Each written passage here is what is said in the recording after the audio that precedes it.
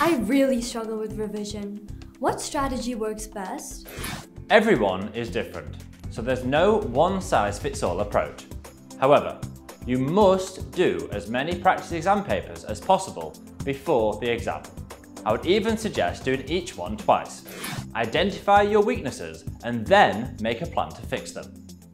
You could scrutinise the examiner report for that question paper. It explains the most common mistakes students made on each question. You could watch video lessons on the specific topics you're struggling with. Or you could read up on the topic from multiple sources. A slight change in wording can sometimes help everything to click into place. If you keep practicing, fixing the problem systematically in this way, you can only improve over time.